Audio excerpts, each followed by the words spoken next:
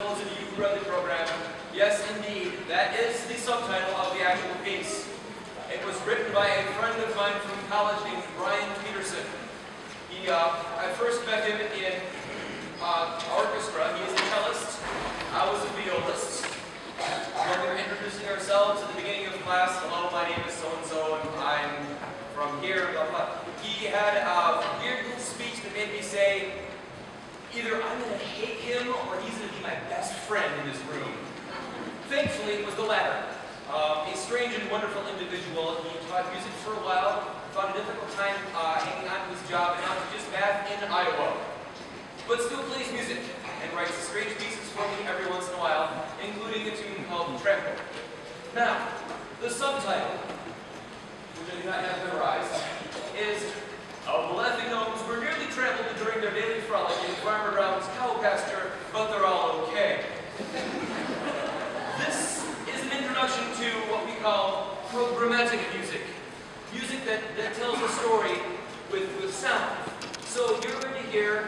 happy, light, frolicking gnome kind of music, and then you'll hear the large and horrific stump of a cow in the pasture. There will be a moment of tension. Did the gnome survive?